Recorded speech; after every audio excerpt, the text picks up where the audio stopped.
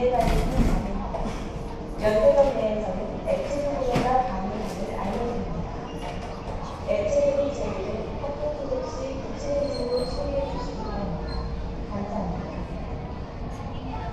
have your attention, please?